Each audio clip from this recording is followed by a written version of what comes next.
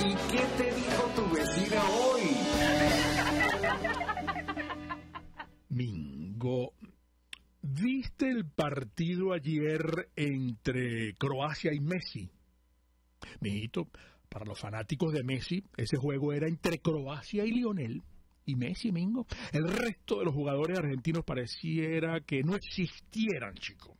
Y existen, Mingo. Sin ellos, Messi no podría hacer lo suyo. Pero bueno, la verdad es que el Mundial, Mingo, a mí se me empañó por completo, chico, por completo, fíjate.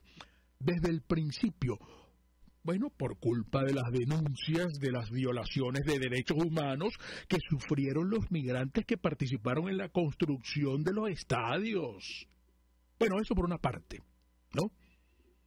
Porque de que ha sido un mundial raro, de eso no te quepa la menor duda. Inusual desde el mismo momento en el que Qatar quedó designado, quedó designado como país anfitrión. Acuérdate que es un país plagado de restricciones.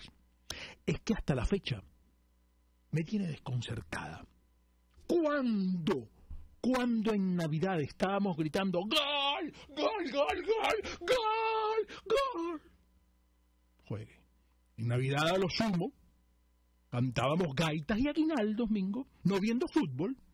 Pero bueno, chicos, eso no es más que el poder de convencimiento que tienen los dólares y los euros de los jeques que hicieron realidad este Mundial 2022 no juegue. Pero Mingo, hay otro asuntico que me tiene muy mal.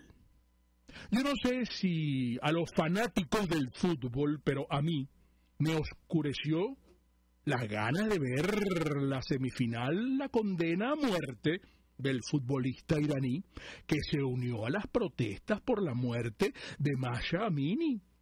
Amir, Amir se llama, Mingo, de apenas 26 años, Mingo, futbolista profesional, Mingo, y como muchos otros iraníes que ya han sido asesinados, salió a las calles para luchar por los derechos de las mujeres y las libertades básicas de su país, que ahí no existen porque los tienen sometidos a punta de religión. El régimen iraní lo condenó a la horca por un delito que ellos describen como enemistad con Dios, enemistad con Dios. Habráse visto insólito futbolista, Mingo, y lo van a matar, como a Midresa Ragnavard, al que ahorcaron este lunes, Mingo, en una plaza pública para tratar de asustar a la ciudadanía. Unos muchachitos, Mingo, que crecieron en esa revolución loca y que en su vida supieron lo que era la libertad de pensamiento y acción. ¿Te suena familiar, Mingo?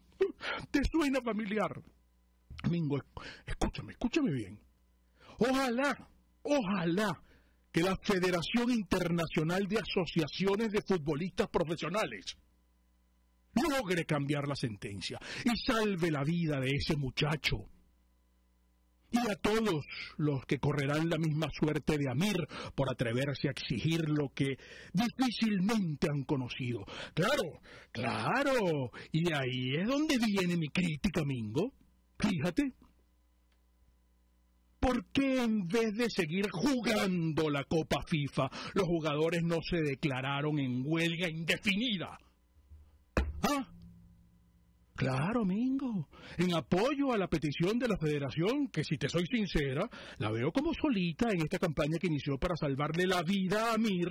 En cambio, si las elecciones de Marruecos, de Francia, de Croacia y Messi se hubiesen declarado en huelga y hubieran decidido no jugar la semifinal, la final, no jugamos y punto. Bueno, a lo mejor la FIFA y la ONU y hasta el Parlamento Europeo, con el dineral que estaría en juego, bueno, a lo mejor logran presionar a Irán para que elimine las sentencias criminales. No sé, no sé, Mingo. solo una idea. Es solo una idea que te estoy lanzando, pero la fiebre del mundial debería servir para un fin un poco más noble que simplemente alzarse con la copa. ¿No crees tú? Por cierto, por cierto, iba a preguntarte, si la destitución y detención de la vicepresidenta del Parlamento Europeo, la griega Eva Kaili, tiene algún vínculo con la elección de Qatar como país anfitrión de la Copa FIFA. A lo mejor, Mingo. A lo mejor. ¿Viste cuántas bolsas de euros le encontraron en su casa?